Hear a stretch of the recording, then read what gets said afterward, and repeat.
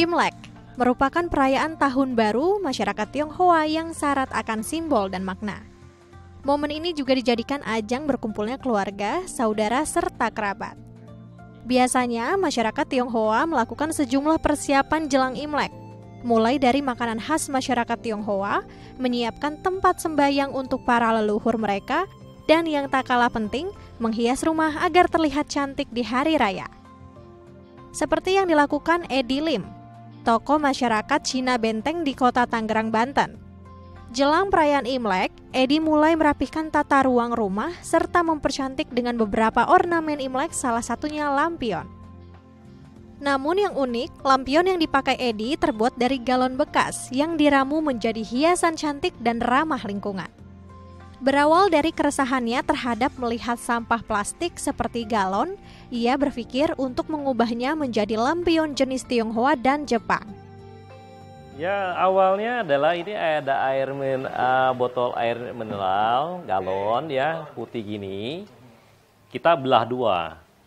Jadi tutup awalnya seperti ini. Kita belah dua. Kita belah dua. Nah setelah itu kepala sama kepala jadi satu.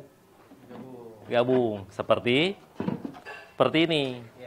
Nah, setelah itu baru kita hiasin pakai kayak gini.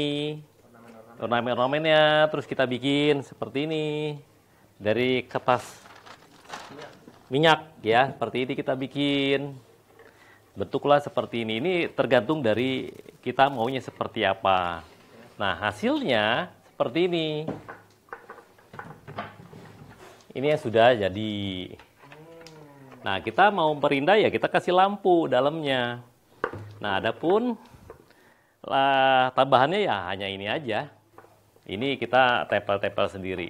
Ini ya yang sangat bermanfaat. Galon ini terlihat cantik setelah dipugar dan diberi pernak-pernik khas Imlek. Selain ramah lingkungan, lampion ini bisa menjadi opsi Anda agar menghemat pengeluaran di hari raya mengingat harga lampion baru yang lumayan mahal. Di samping itu, Edilim juga menyiapkan ruang sembayang yang juga disiapkan beberapa persembahan dalam kepercayaan Tionghoa sebagai bentuk penghormatan kepada leluhur. Tak lupa berkumpul bersenda gurau bersama istri, anak, dan cucu menjadi momen spesial yang dinanti setiap hari raya Imlek.